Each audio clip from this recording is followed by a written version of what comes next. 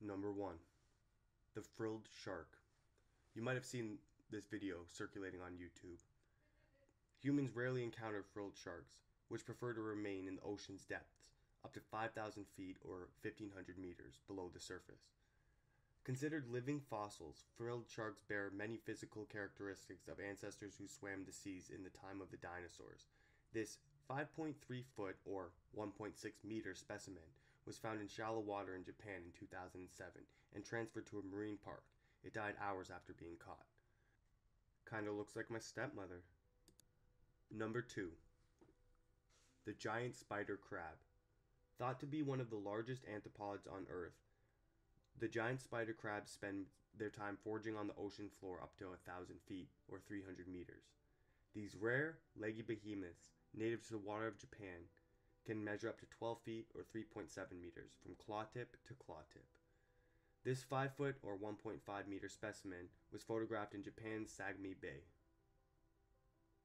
Imagine buttering up those crab legs. Number 4. The fangtooth fish. The nightmarish fangtooth is among the deepest living fish ever discovered.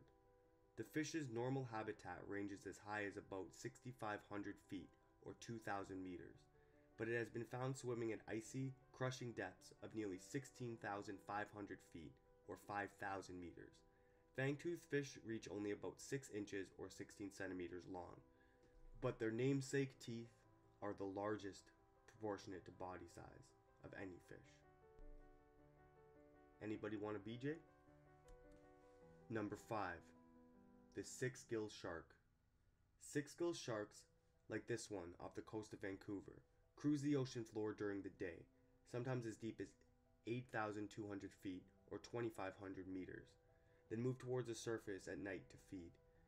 They can reach impressive lengths of 16 feet or 4.8 meters on a diet of other sharks, rays, squids, crabs, and occasionally seals. I wonder if they're eating the giant spider crabs. Butter. Number 6.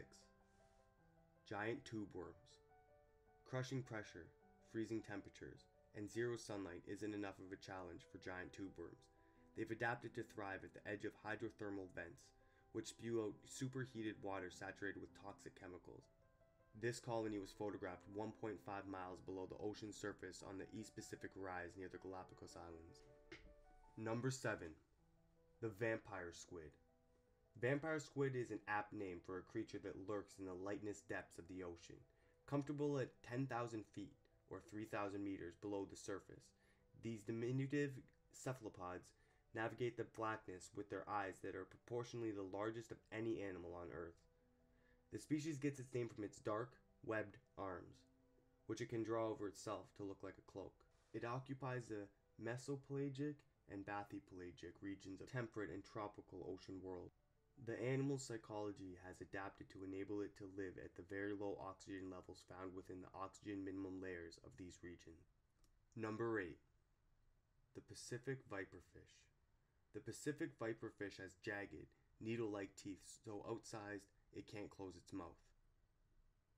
The deep sea demons reach only about 8 inches, 25 centimeters long. They troll the depths up to 13,000 feet, luring prey with bioluminescent photophores on their bellies. The same way I get girls. Number 9. The dragonfish. Although they are found at depths of nearly 2 kilometers, the dragonfish actually starts its life at the surface of the ocean as a result of its egg being buoyant.